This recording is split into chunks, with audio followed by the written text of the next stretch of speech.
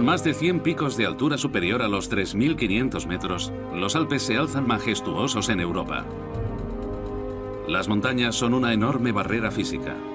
1.200 kilómetros de largo, 200 de ancho y se expanden por siete países, dividiendo el norte y el sur de Europa. Hogar del emblemático Cervino y la montaña más alta de la Europa occidental, Mont Blanc, los Alpes son una de las cordilleras más altas del mundo. Pero la mayoría de estos picos se formaron hace solo 30 millones de años, convirtiéndolos en unos de los más jóvenes de la Tierra.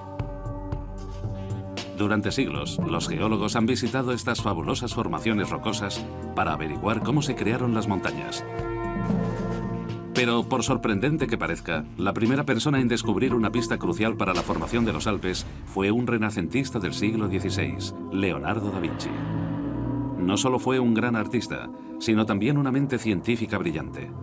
Da Vinci era un detective natural que vio el mundo que lo rodeaba como un enorme misterio que esperaba ser resuelto centró su mente tan inquisitiva como científica en los Alpes en un tiempo en que la mayoría de estudiosos creían que la Tierra era plana.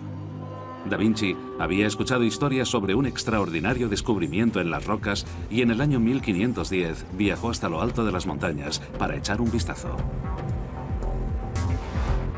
A 2.000 metros de altura encontró lo que estaba buscando. Fósiles. Sabía que aquellas criaturas venían del mar, que no habían vivido en los Alpes. Entonces, ¿cómo habían llegado allí, a más de 150 kilómetros del océano más cercano y a miles de metros por encima del nivel del mar? La explicación que proporcionó la poderosa Iglesia Católica en el siglo XVI fue que los fósiles marinos debieron de llegar allí durante la época de Noé en el siglo 24 a.C. Las Sagradas Escrituras describen cómo Dios, enfurecido por la maldad de los hombres, los castigó con un terrible diluvio que inundó toda la tierra. Toda forma de vida fue aniquilada, excepto aquella a salvo en el arca de Noé. El gran torrente de agua que inundó la tierra debió de arrastrar a las criaturas marinas cientos de kilómetros tierra adentro. Pero Da Vinci no creyó en esta explicación y continuó su investigación para averiguar cómo habían llegado allí los fósiles.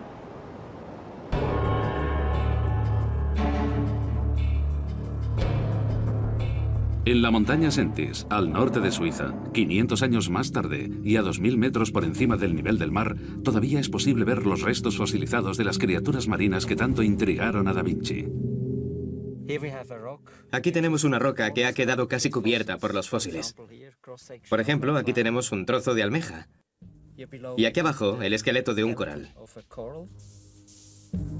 Entusiasmado con los fósiles, Da Vinci llevó a cabo un ingenioso trabajo detectivesco encontró restos fosilizados de dos criaturas con concha que por suerte tenían aún ambas partes intactas. Si la teoría de la Iglesia sobre el diluvio catastrófico era cierta, entonces el torrente de agua tendría que haber destrozado estas delicadas criaturas. Da Vinci propuso que estos fósiles se habían formado bajo el océano y que alguna otra fuerza los había llevado a lo alto de las montañas. Los científicos de ahora han identificado las especies fosilizadas en estas rocas y pueden determinar con precisión cuándo vivieron.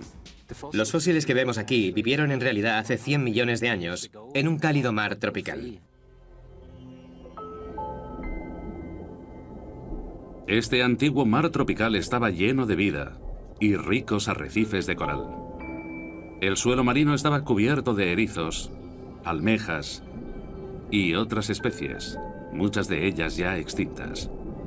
Tal como Da Vinci había imaginado, cuando algunas de estas criaturas murieron, se preservaron intactas.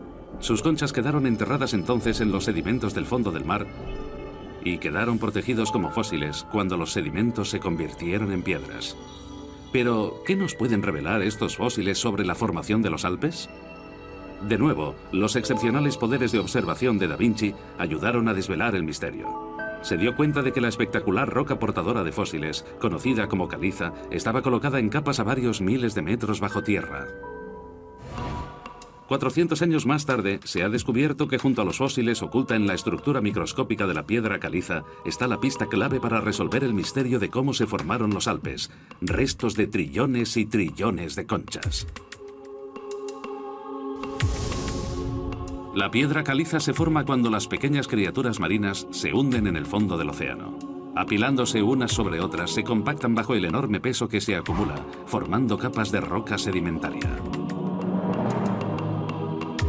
La Sentis, al igual que las zonas más grandes de los Alpes, está hecha casi por completo de las conchas de criaturas marinas muertas. Los lechos de piedra caliza están a varios miles de metros de altura, lo que prueba la extraordinaria cantidad de sedimentos que quedó en el antiguo suelo marino. Aquí tenemos una increíble cantidad de caliza, capa sobre capa, que se formó en el suelo marino y que quedó erguida en esta posición durante la creación de la cordillera alpina.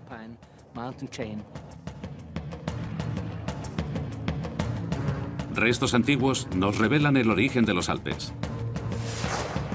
Los fósiles marinos son prueba de que estas rocas estuvieron cubiertas una vez por un mar tropical. Y las rocas, formadas por trillones de conchas microscópicas, nos muestran que las montañas se formaron por los sedimentos que quedaron en el océano. Da Vinci sospechó que parte de los Alpes se había formado bajo el océano. Pero ¿cómo terminaron tan arriba estas capas planas en su origen? La explicación de Leonardo fue que algún tipo de fuerza había llevado los fósiles a lo alto de las montañas. Pero en aquel entonces no pudo explicar cuáles eran las fuerzas que impulsaban este movimiento. Después de Da Vinci, los científicos tendrían que esperar otros 400 años a que se resolviera esa parte del misterio.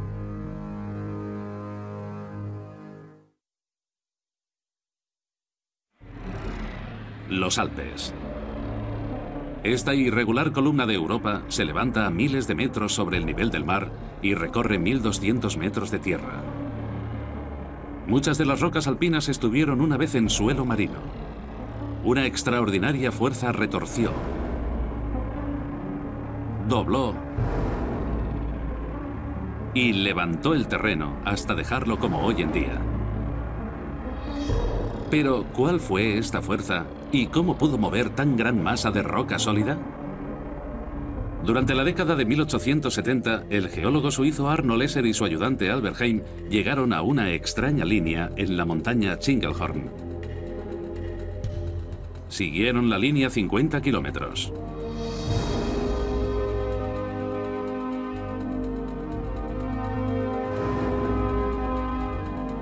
Aunque la mayoría del tiempo tuvieron que seguirla desde lejos, encontraron un lugar donde se podía examinar de cerca. En las proximidades del pueblo de Elm, al este de Suiza.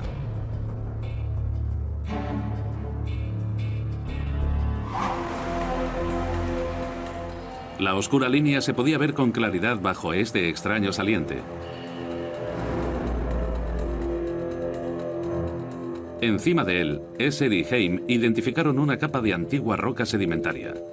Es extraño, pero debajo de la línea encontraron una capa de roca mucho más joven. En la parte de abajo tenemos el flies, piedra pizarra de hace 35 millones de años. Y arriba está el verrucano, que se formó hace 260 o 70 millones de años. Esser y Heim estaban extrañados. Aquella formación rocosa no tenía ningún sentido. Si las dos capas se habían formado con la acumulación de sedimentos, ¿cómo es que la roca más vieja estaba encima de la más joven? Estudiando los pliegues y las vueltas de las montañas cercanas, Esser y Heim pensaron en una teoría para explicar cómo estas rocas cambiaron de lugar.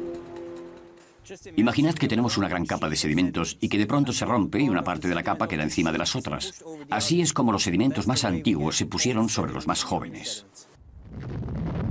Una enorme fuerza horizontal empujó estas viejas rocas a una distancia de 50 kilómetros sobre las jóvenes. La línea entre ellas, donde las rocas se rozan unas con otras, se llama rampa. El descubrimiento de Esser y Heim revolucionó nuestro entendimiento de la formación de las montañas. Este afloramiento está cerca de la que sea posiblemente la falla más famosa del mundo, la llamada falla de Glarus. Y solo hay unos pocos lugares desde donde puedas acercarte. Este lugar es un reflejo del enorme fenómeno geológico que creó los Alpes. Justo al lado de la falla de Glarus hay una cordillera con picos de más de 3.000 metros de altura. Es un recordatorio de que una enorme fuerza creó los Alpes. Una fuerza que podía mover las montañas literalmente. Pero, ¿qué tiene el poder para empujar miles de millones de toneladas de piedra? Los científicos saben ahora que un proceso tan colosal solo podría ocurrir cuando chocan dos continentes, conducidos por las fuerzas de las placas tectónicas. Las placas tectónicas son las grandes placas de la corteza terrestre que se mueven lentamente por la superficie del planeta, propulsadas por las grandes corrientes de roca fundida que hay en las profundidades de la Tierra. Mientras sucede esto, durante millones de años, los continentes han chocado y se han dividido, a la vez que se formaron y desaparecieron algunos océanos. Pero si los Alpes se formaron como resultado de una enorme colisión, ¿qué continente fue el que chocó contra Europa? La respuesta está en uno de los puntos más famosos de los Alpes. Escondido entre las nubes y bastante difícil de ver. Aquí está. Por fin. La forma única del Cervino la ha convertido en una de las montañas más famosas del mundo. A 4.410 metros de altura, es uno de los picos más altos de los Alpes. Escondida en el cuerpo de la montaña hay otra gran falla. Aquí, las piedras del suelo marino se hallan sobre el lecho europeo.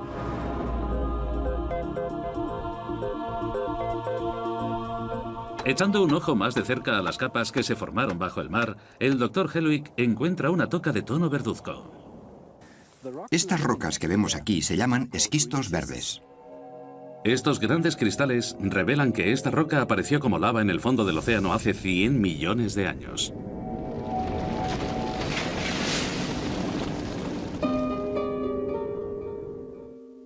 Pero a principios del siglo XXI, los científicos descubrieron algo aún más extraño una capa inusual de rocas en la montaña. Esta capa superior es de una roca gris llamada Neis. Pero cuando los geólogos rastrearon el origen de la roca, descubrieron que no procedía de Europa y que era 200 millones de años más antigua que las rocas del suelo marino. La roca pertenece a un continente de 2.000 millones de años de edad a 960 kilómetros al sur, África. La sección superior de este sándwich alpino consiste en una capa de rocas que viene de África. La capa intermedia es de rocas de la corteza oceánica y la más baja es de rocas europeas.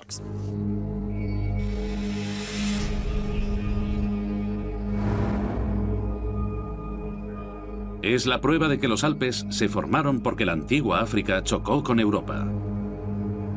¿El resultado? Es esta enorme montaña compuesta por tres tipos de roca. Desde el punto de vista geológico, combina muy bien con la historia de los Alpes, ya que nos muestra los aspectos más importantes de la misma. Todo aquí, en una sola montaña. Pero, ¿cómo quedaron atrapadas las rocas del suelo marino entre los dos continentes? Estudios detallados y una datación de las rocas alpinas han revelado que hace 90 millones de años África chocó contra Europa, aplastando el océano Tetis, el antiguo mar que allí había. Cuando África se estrelló contra Europa, destruyó el océano que había entre ambos y apiló el terreno en finos cortes, tal como haría un bulldozer al apartar la tierra. Estos cortes quedaron apilados frente al bulldozer que en este caso sería África. Así es como se empezó a desarrollar esta enorme pila de roca deformada que actualmente conforma los Alpes. El suelo oceánico quedó arrugado frente al continente africano, doblándose, retorciéndose y rompiéndose con su avance. Hasta 30 millones de años, los Alpes se vieron empujados hacia arriba en Europa. Fue durante esta parte de la formación de las montañas en la que África empujó las capas de tierra cuando se formó el sándwich de rocas que luego se convertiría en el Cervino.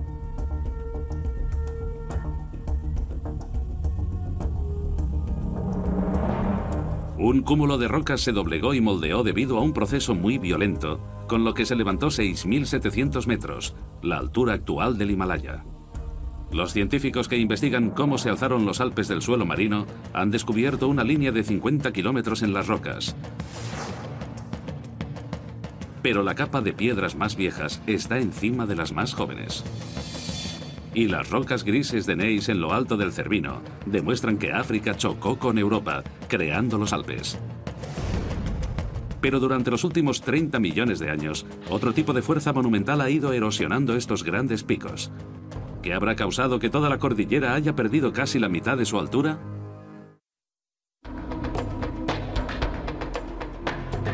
Hace 30 millones de años, los picos más altos de los Alpes se alzaban a 6.700 metros hacia el cielo.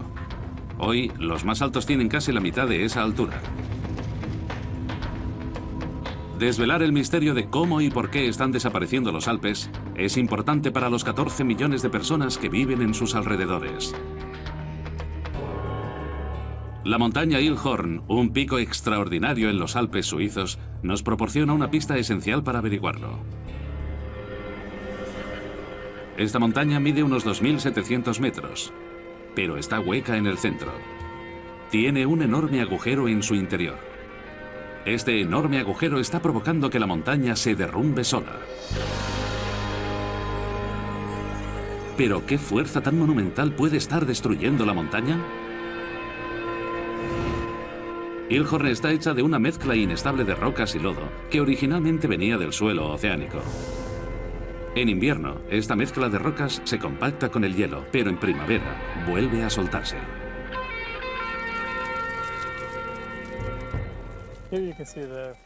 Aquí podemos ver que las rocas se ven muy afectadas por el tiempo.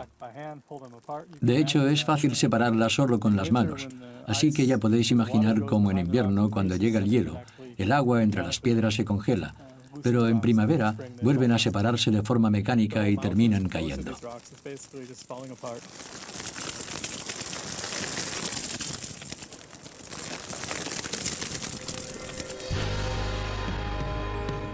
Una combinación de piedras débiles y la acción natural del frío y el calor ha desembocado en una montaña que se derrumba. En los últimos 10.000 años se han erosionado 100 millones de toneladas de la montaña Ilhorn y en el proceso se ha creado un enorme valle, el Ilgraben.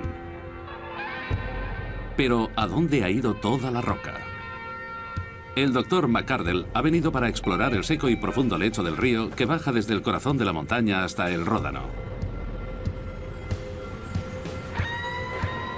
Las pistas están escondidas entre el pueblo y la vegetación. Es una gran plataforma en forma de abanico de escombros, a 450 metros de profundidad y que ocupa unos 2,6 kilómetros cuadrados. Esta estructura se ha formado con sedimentos que llegan de Ilgraven. Todos los sedimentos que vemos aquí han ido bajando por la montaña. Pero este río seco presenta un misterio. ¿Cómo se transportó la enorme cantidad de escombros de la montaña? La aldea suiza de Susten, zona cero para la investigación, está en constante estado de alerta.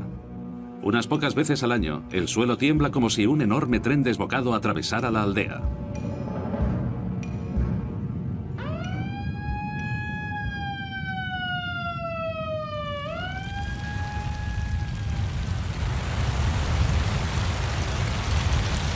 En un momento, el canal se ve inundado por un río de rocas.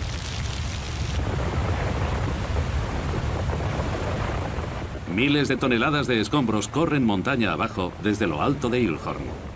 Entre tres y cinco veces al año se produce un gran desprendimiento de sedimentos que se mueven montaña abajo a una velocidad de 15 a 30 kilómetros por hora y que dejan una capa de hasta 3 metros. Pasa muy cerca del canal.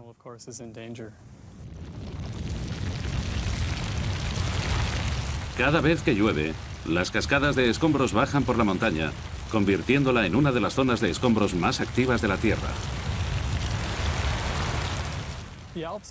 Los Alpes se están erosionando a través de los ríos y los lagos, con escombros que bajan por los valles.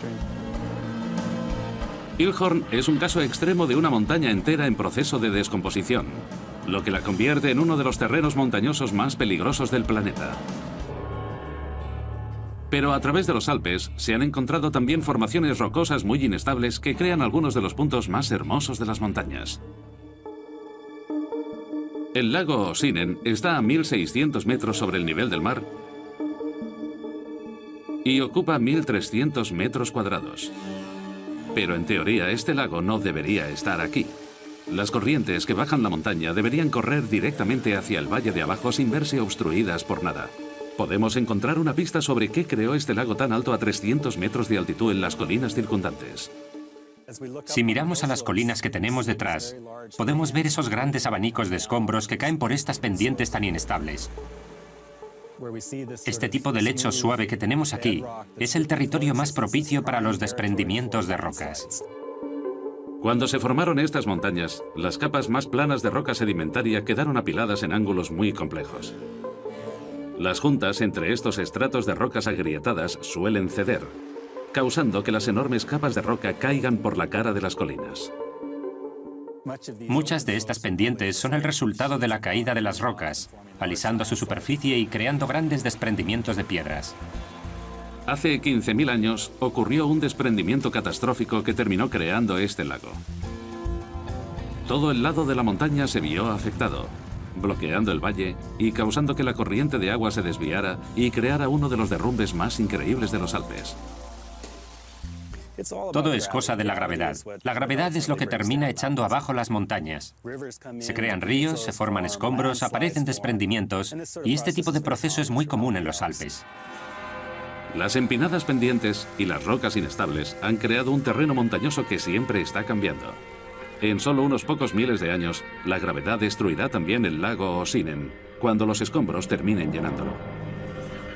Durante los últimos 30 millones de años, los Alpes han ido cayendo a gran escala y en algunos lugares han decrecido hasta 3.000 metros en altura. Entonces, ¿qué ha ocurrido con los miles de metros y miles de millones de toneladas de roca que han desaparecido? Podemos encontrar una pista de ello en las colinas a unos pocos kilómetros al norte de los Alpes. En Egwill, este afloramiento rocoso contiene una extraordinaria colección de piedras. Hay adoquines enormes, piedras que pueden haber llegado de cualquier parte de los Alpes. Así que si miro alguno de estos, por ejemplo esta pequeña piedra de color blanco y negro, veo que es una roca granítica que proviene del centro de los Alpes, de algún lugar muy cercano a El Cervino. Y gracias a este afloramiento vemos que las rocas vienen de diferentes partes de la cordillera. Las rocas, provenientes de cientos de lugares distintos, han viajado más de 250 kilómetros antes de llegar a este cementerio geológico. Pero lo sorprendente aquí es la cantidad de material que se puede hallar. Estas colinas están hechas por completo de escombros de los Alpes. Miden 150 kilómetros de ancho y 800 de largo, y se extienden en arcos rodeando los Alpes, atravesando Francia, Suiza y Alemania. Aquí hay suficiente material como para cubrir los Estados Unidos con una capa de al menos 30 metros de escombros. ¿Será este el lugar donde han ido los miles de metros de roca alpina que han desaparecido? Un gran terreno montañoso como los Alpes es muy pesado y eso aplasta la corteza terrestre formando una depresión por toda la zona de las montañas. Un billón de toneladas de roca se levantó al chocar África contra Europa creando los Alpes. El peso de las rocas causó que la corteza europea se hundiera, formando una gran depresión de hasta 4 kilómetros en algunos lugares, como la cuenca de Molase. La importancia de esta depresión radica en que es una trampa. Todos los sedimentos que hemos visto erosionando los Alpes han quedado atrapados en esta cuenca y siguen aquí. La datación de estos guijarros ha revelado que desde que se crearon los Alpes, los ríos han empujado los escombros cientos de kilómetros hacia abajo, tirando las rocas a esta enorme cuenca. Estas piedras que estamos viendo aquí son los escombros, los detritos que han salido de los Alpes durante los últimos 20 o 30 millones de años. Estas rocas en particular tienen casi 25 millones de años. Lo que vemos son pedruscos, pequeños trozos de todas las diferentes piedras que podemos ver por los Alpes. Durante 30 millones de años, los escombros que han erosionado la cordillera han terminado en este cuenco de 78.000 kilómetros cuadrados, creando esta cadena de colinas al norte de los Alpes. Aquí es donde se encuentran las rocas de montaña desaparecidas. Si las juntáramos todas, formarían una montaña más tan alta como el Himalaya. Los científicos han descubierto la forma en que los Alpes han terminado midiendo la mitad de su altura y a dónde han ido las rocas perdidas. Las pistas son una increíble mezcla inestable de rocas que provoca la caída de montañas enteras. corrientes de escombros que corren montaña abajo demuestran que las capas de roca más débiles se desprenden de su interior. Y un cementerio de detritos provenientes de todas partes de los Alpes que demuestran que estas montañas se han ido erosionando. Pero hace dos millones de años, el terreno cambió de forma drástica. Se formaron unos acantilados en los Alpes y unos enormes picos de roca atravesaron las nubes. La formación rocosa más notoria es la de Leiger, en el sur de Suiza. La infame cara norte de Leiger es una pared vertical de 1800 metros. Es un ascenso implacable y aterrador. Los escaladores se tienen que enfrentar a grandes corrientes de viento, nieblas heladas, desprendimientos y avalanchas, lo que le da a Leiger la reputación de ser una de las escaladas más formidables del mundo. Apodada la pared asesina, en su ascenso han muerto más de 60 escaladores desde 1935.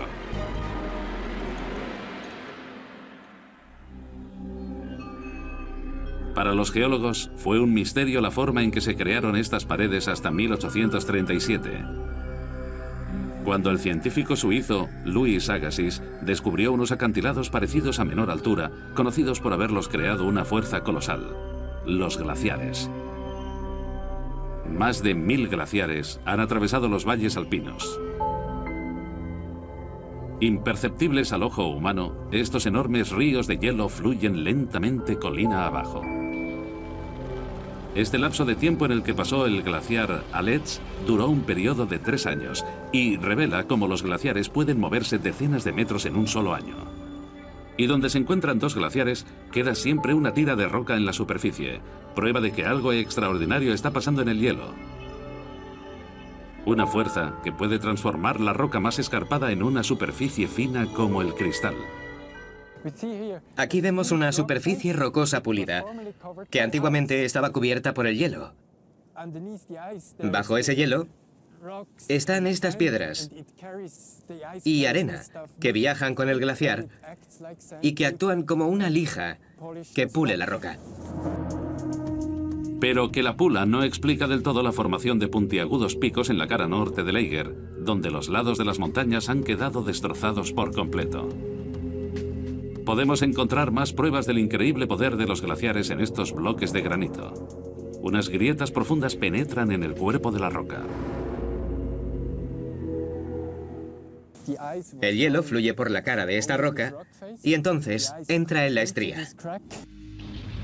El agua que se forma bajo el glaciar se mete dentro de las grietas, vuelve a congelarse y parte la piedra. Los bloques de piedra más debilitados y fracturados se ven arrancados del lecho rocoso.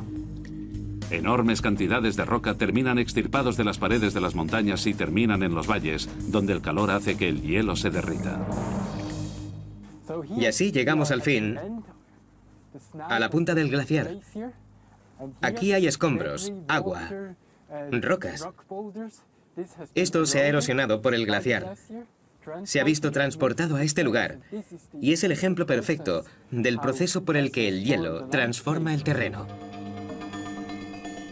Pero ¿cómo puede haber moldeado la cara norte de Eiger y otros grandes picos que se levantan a miles de metros de altura fuera del alcance del abrasivo hielo? Agassiz llegó a una teoría radical. Se dio cuenta de que estas paredes tan altas estaban arañadas y agrietadas. Estaba claro que habían sufrido el efecto de los glaciares, al igual que los valles que encontró a altitudes más bajas. Reuniendo las pruebas, concluyó que los grandes picos de 2.000 metros como el Eiger fueron el resultado del paso de glaciares gigantes. Pero si Agassiz tenía razón, ¿de dónde habían salido estos enormes glaciares? Las pruebas están dentro del mayor río de hielo de Europa, el glaciar Aletz. Mide nada menos que 25 kilómetros de largo y cubre un área de 115 kilómetros cuadrados con un kilómetro de profundidad. El origen de este glaciar se halla en lo alto de las montañas, donde la altitud comporta bajas temperaturas y fuertes nevadas. Para descubrir cómo la delicada nieve se transforma en un enorme bloque de hielo, el Dr. Bauder se aventuró a las profundidades del corazón del glaciar.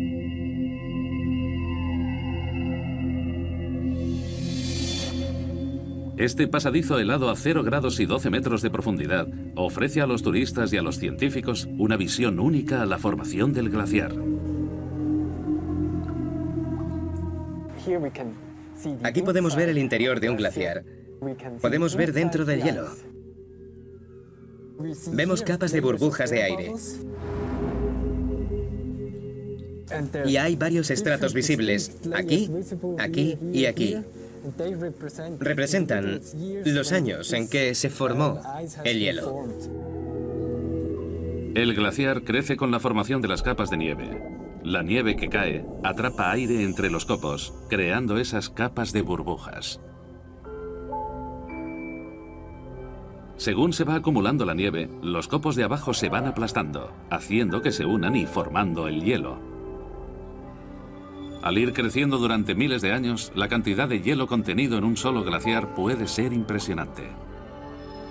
Se estima que el glaciar Aletz contiene 27.000 millones de toneladas de agua, lo suficiente como para proporcionar un litro de agua al día a cada persona de la Tierra durante seis años. Estas burbujas de aire atrapadas dentro del hielo durante miles de años son la clave para entender qué creó la forma distintiva de los Alpes. Las burbujas de aire quedan atrapadas en el mismo momento en que se forman, de manera que podemos analizar la composición química dentro de ellas y aprender más sobre las condiciones climáticas de ese tiempo. Cuando los científicos analizaron estas minúsculas cápsulas del tiempo, encontraron aire de hace 12.000 años, con sorprendentes niveles bajos del dióxido de carbono que crea el efecto invernadero. Esto significa que el calor se escapaba de la atmósfera terrestre, causando que la temperatura global del planeta se desplomara. Estudios similares han revelado que durante los últimos dos millones de años, la Tierra se ha transformado por una serie de eras glaciales. La teoría de Agassiz se ha confirmado. Hace dos millones de años una enorme capa de hielo engulló el hemisferio norte de la Tierra. Los Alpes quedaron enterrados en el hielo desde casi tres kilómetros más abajo. El hielo era tanto que solo las puntas de las montañas más altas sobresalían del océano de hielo. Según se movían los glaciares, tallaban los picos y moldeaban las paredes rocosas de los Alpes, dejando su estigma en el terreno. Fue durante este tiempo cuando los glaciares gigantes transformaron la infame cara norte de Eiger.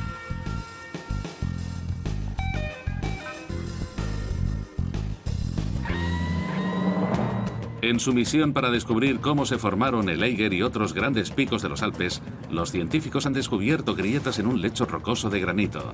Pruebas de que los glaciares destrozaban enormes masas de roca de las montañas y bajos niveles de dióxido de carbono atrapados en burbujas en el hielo que demuestran que los enormes glaciares tallaron una vez las inmensas paredes de piedra y los pináculos que ahora reinan el paisaje. Hace 10.000 años, las grandes capas de hielo se derritieron, dejando su marca en los Alpes. Pero ahora, la cordillera se está descomponiendo a un ritmo impresionante. Algo ha avivado una nueva y violenta fase de su evolución.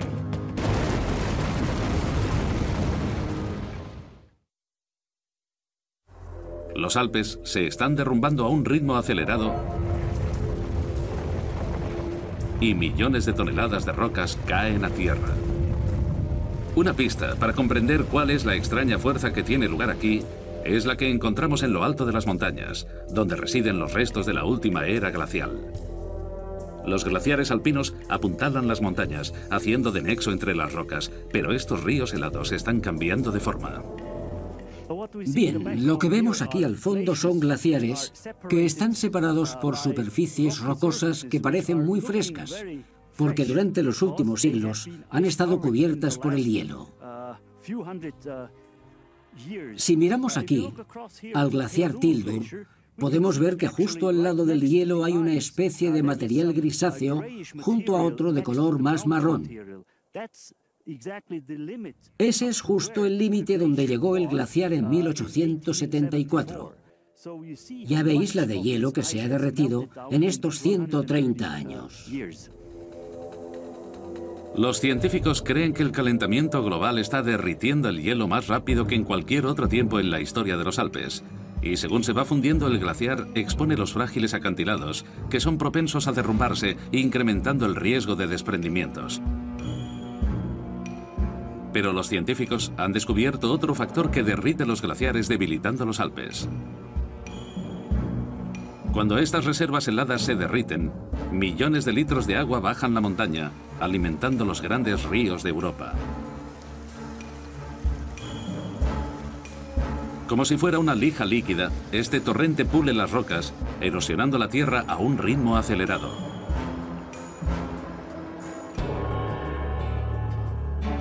Se pueden encontrar pruebas drásticas de este proceso dinámico en el valle del Lauterbrunnen,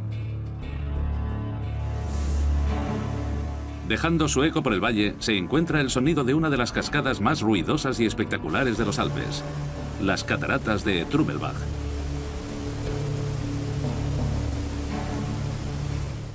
Se puede sentir el pulso del agua. El nombre de Trummelbach significa sonido de tambor, y esto se refleja en este pulso, este ritmo que podemos escuchar y sentir en el agua, que fluye montaña abajo por estas cuevas.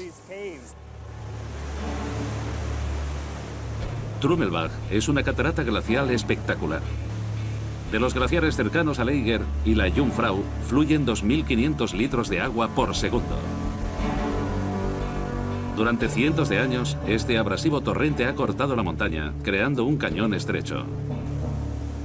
Cada año y solo en los Alpes suizos, esta agua retira suficientes rocas como para crear una montaña de más de 800 metros.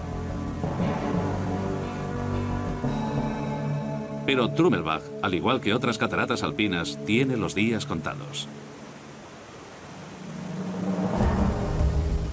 Cuando el agua corre montaña abajo por las cataratas, erosiona la roca, debilitándola. Con el tiempo, estos escarpados acantilados que nos dejaron los glaciares se derrumbarán y serán sustituidos por valles aún más profundos. Actualmente, los ríos que están volviendo moldean un valle con una forma muy diferente y modifican el terreno. Todos estos procesos están destruyendo todos esos grandes relieves que nos dejaron los glaciares. Son procesos muy dinámicos, con una erosión muy rápida. Es un acto muy veloz que no se puede mantener con el tiempo geológico. Durante los últimos 150 años, el calentamiento global y el resultante deshielo ha causado una gran cantidad de erosión. Los expertos advierten de que si continúa este calentamiento, los Alpes se quedarán sin hielo al final del siglo y temen que los picos de estas enormes montañas se derrumben aún más rápido. Las rocas debilitadas y el creciente riesgo de desprendimientos catastróficos podrían provocar un enorme desastre en los pueblos y centros turísticos de los Alpes. Pero un vistazo atrás a los tiempos antiguos nos demuestra que los Alpes ya se derritieron una vez. En otoño del año 218 a.C., el poderoso Aníbal lideró un ejército de 50.000 hombres y 40 elefantes a través de los Alpes para atacar a los romanos. Un arduo viaje de 15 días a través del terreno más traicionero de Europa. Muchos hombres murieron durante el peligroso trayecto, pero el audaz plan de Aníbal dio resultado. Y su ejército logró atravesar Italia para derrotar a los romanos.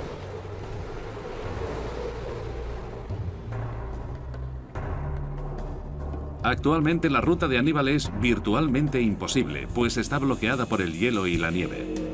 Los científicos se han dado cuenta de que cuando Aníbal cruzó los Alpes, los pasos de montaña debieron de estar deshelados y los glaciares debieron de haberse retirado mucho más de lo que están hoy en día. Para él debió de ser como pasear por el bosque, al menos la mayor parte del camino. Desde luego le fue mucho más fácil viajar a través de los Alpes de lo que le costaría actualmente, por ejemplo. Antiguos cambios en la inclinación de la Tierra hacia el Sol han causado que los glaciares se derritan y vuelvan a congelarse en respuesta a un clima fluctuante. Si la historia vuelve a repetirse, en un futuro distante los glaciares volverán a los Alpes de manera natural. Estos avances y retiradas del hielo son muy importantes en lo que concierne al ritmo en que se erosionan los Alpes. Es este ciclo natural de glaciares que cortan las paredes y ríos que moldean los valles el que ha creado un terreno montañoso que siempre está cambiando. Y es este proceso natural el que terminará destruyendo los Alpes tal y como los conocemos ahora.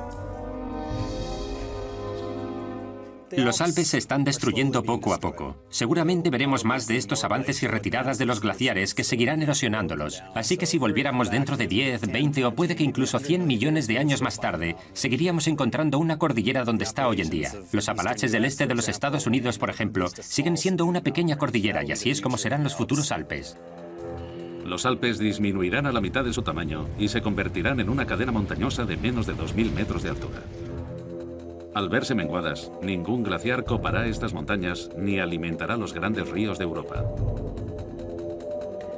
Dentro de millones de años, las enormes tierras de Francia, Alemania y la de Europa Oriental podrían verse yermas y estériles. Los científicos han descubierto cómo se formaron los Alpes y por qué se están derrumbando. Fósiles marinos y piedra caliza formada con trillones de conchas marinas son la prueba de que las rocas alpinas se crearon en el fondo del mar.